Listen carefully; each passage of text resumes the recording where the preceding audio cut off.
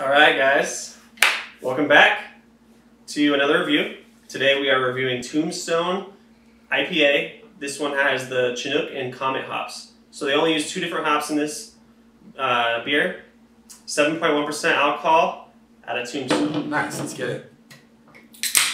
All right, guys, so we have a little bit, pretty exciting announcement. We have some new upgrades to the studio. We got this mic right here. We'll see how the audio comes out. And we got a couple lights. You guys will have to let us know how the new studio is looking. But uh, yeah, I'm excited to try this beer. Tombstone cranking out the heat right now Always, so always. hard. Yeah. All right. Get every last drop. Every time. Cheers. Okay, definitely. Uh, it's like an opaque yellow. Okay, yeah.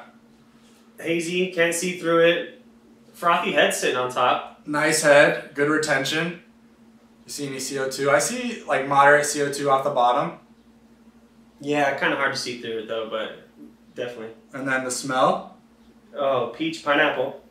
Okay. I get like uh I get some grassy tones. Okay. Yeah. I also get with the peach pineapple like a bubble gum. Can you smell that? Bubble gum? Try it. Imagine bubble gum right now. I can Yeah, a little bit. I get kind of like uh, I get some peach for sure actually. So I get like a mix between peach and like some grassy, earthy tones. Okay. All right, dude. Alright. Let's hit it.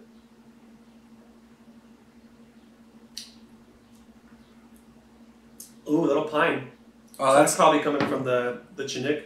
okay. I know they're um, a bittering hop, and they usually have pine aromas in there. Okay. I think it's really good. I don't know. It doesn't really smell or it doesn't really taste like it smells. A little different. Yeah. What's, Um, do you do you taste the pine? I get a little pine. I kind of get like the. Uh, doesn't Lagunitas have some pine in it? Mm-hmm. I have like some similarities in the finish on the Lagunitas, Okay. but a, lot uh, of, a lot of West Coast will have a little bit of pine in there. yeah, but it's kind of. I would say it's bitter for a hazy too. So today we went into uh, Tap and Bottle because Uh-huh. we heard they were getting a release of Tombs- Tombstone cans. We were super super excited, probably waiting all week for this. Mm-hmm. And we walk in and they had told us Tombstone had some canning issues, so they were unable to get their shipment in today. So they had none, right? I didn't see one. Mm, nope, no Yeah. Tombstone. Um, they could have had the sour back in there, but we weren't checking out the sours yeah, today. yeah. So we just grabbed six beers, different kinds of beers. But luckily, I still had this this uh, IPA, Oh, oh hey. this IPA in my fridge. So we're trying it now, and um, they they did get some kegs in though. So they're filling crowlers. If you guys know what those are, those are uh, like a growler but in a can. They can fill it up for you. Nice. So Sweet. So uh, do you want to give us a quick score?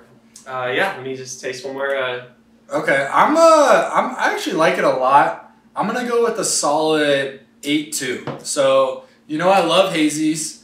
Um, I'm curious to hear kind of where you're at because I know you're not you don't like hazies as much as I do, right? no, I'm, I'm just like the West Coast IPAs. Yeah, yeah, for sure. And uh, one of the things, you know, I've been brewing beer for 10 years.